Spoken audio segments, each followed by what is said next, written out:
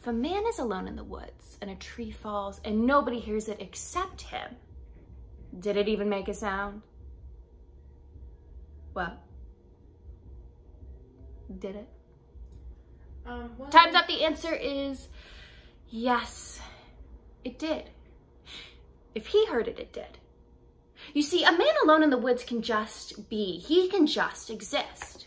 He's contemplating, they'll say. Oh, he's a philosopher. He's Thoreau. His thoughts. I'll say, oh God, what great thoughts. And I'm thinking of white men. Yeah, duh, obviously, I'm thinking of white men. But, you know, there's way less permission with women to just be. Women's existence is dependent upon others, on an audience. Women only exist relationally. what we do is who we are. Because if I'm alone in the woods and I hear a tree fall, it didn't fall, it didn't make a sound because I can't be alone in the woods.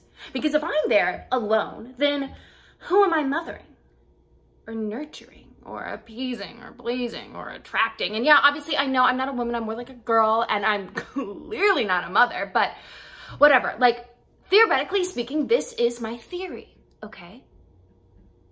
If I'm alone in the woods, then I have no purpose.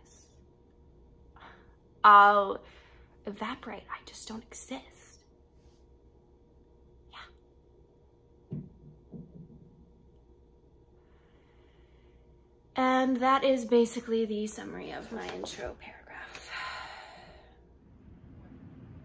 Well, I dare say it's vulgar of me, but there's no other word for it. I'm fed up with nice things, with respectability, with propriety.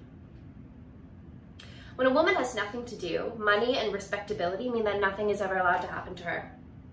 I don't want to be good. I, I don't want to be bad. I just, I don't want to be bothered with being either good nor bad. I want to be an active activer.